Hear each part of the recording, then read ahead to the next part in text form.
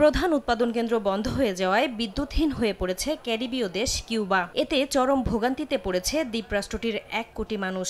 খাদ্য জ্বালানি ও ওষুধ সংকটে ভুগতে থাকা কিউবার শিল্প কারখানা হাসপাতাল থেকে পরিবহন ব্যবস্থা সবখানেই নেমে এসেছে বিপর্যয়।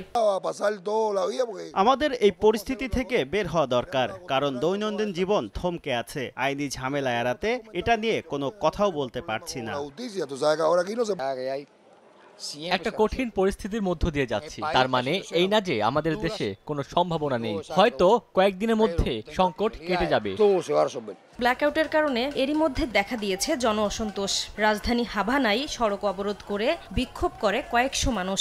এ সময় দ্রুত বিদ্যুৎ পরিস্থিতি স্বাভাবিক করতে কার্যকরী পদক্ষেপ নেয়ারও দাবি জানান আন্দোলনকারীরা। অবরোধের কারণে বন্ধ হয়ে যায় যান চলাচল। কর্তৃপক্ষ বলছে, হারিকেন মিল্টনের কারণে দ্বীপরাষ্ট্রটির দুটি বিদ্যুৎ কেন্দ্র ক্ষতিগ্রস্ত হওয়ার পর প্রধান বিদ্যুৎ কেন্দ্রটিও বন্ধ হয়ে গেছে। এছাড়া খারাপ আবহাওয়ার কারণে জ্বালানিবাহী জাহাজ আটকা পড়ায় কমেছে সরবরাহ। বৈরী আবহাওয়ার কারণে আমাদের জ্বালানি বোঝাই দুটি জাহাজ আটকা পড়েছে। সেটি পৌঁছালে হাবানার দুটি ভাসমান বিদ্যুৎ কেন্দ্র চালু করা সম্ভব হবে। তখন পরিস্থিতি কিছুটা স্বাভাবিক হবে।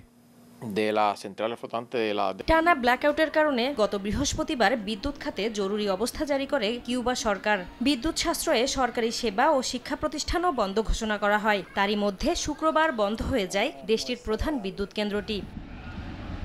নাসরিন রুমি সময় সংবাদ।